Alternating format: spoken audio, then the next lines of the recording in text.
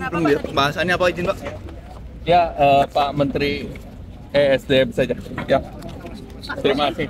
sempat berfoto bersama di dalam Bersama. berfoto bersama-sama di dalam. Saya iya. ceritakan Pak, kan ada captionnya Pak Setnek katanya memilih bersama Presiden memutuskan itu yang tersenyum. Maksudnya apa ya Pak? Maksudnya kita lagi happy bersama. Jadi karena happy bersama, kita foto bersama. Kenapa happy Pak? Karena Menteri Keuangan tidak pakai batik.